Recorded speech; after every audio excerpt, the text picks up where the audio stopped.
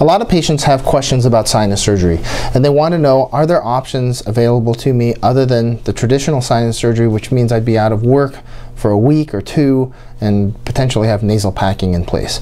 Well, the good news is there are lots of other options these days. Most specifically, there's the option of what we call balloon sinus surgery. Why don't we take a look at this video so we can see what that means exactly, okay? And I'll walk you through it so you understand exactly what it is that we're talking about. So if we take a look at this video here, this is an animation of a procedure that's done to treat patients with sinus problems. This one specifically is designed to address the maxillary sinus, which is right behind your cheek and you'll see that in the animation here.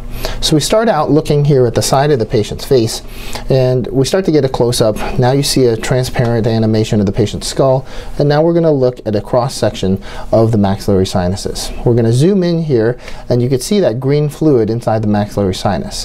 What you see now is the device that goes in through the natural hole, what we call the natural ostium, into the maxillary sinus. Okay, That little light that you see going in there is a guide wire which helps us figure out that we're in the right right place. As soon as we're sure that we're in the right place, then we advance this other catheter which has a balloon in it.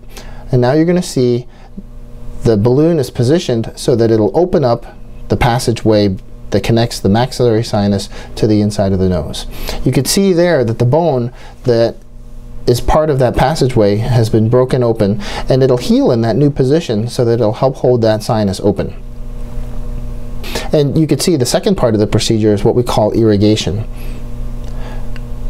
So what we're going to do now, after we're sure that the that the catheter is in the right place is we wash out all the stuff that's in there, all the mucus and all the other secretions that have been stuck in there. This is a procedure which is often and most commonly done in the office. You can see that now that the passageway is open, it allows for air to come in and for mucus to come out.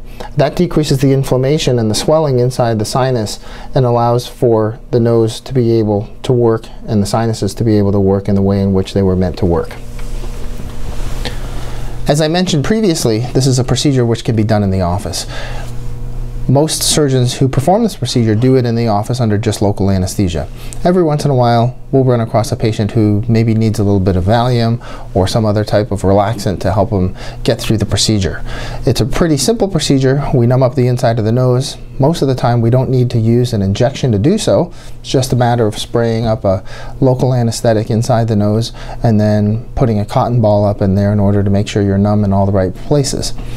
Then, using an endoscope, a telescope that goes inside the nose, we could take a look in there and perform the procedure just like you saw it in the animation.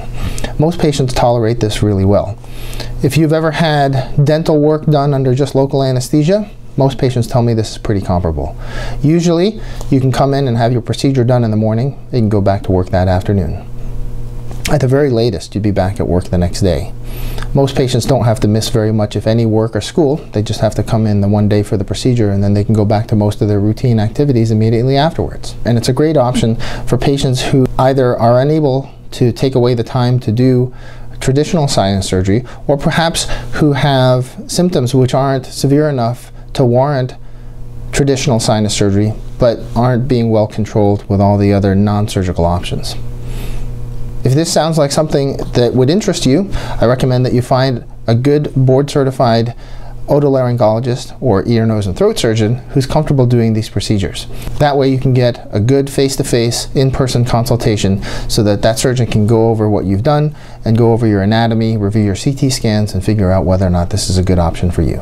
Thank you.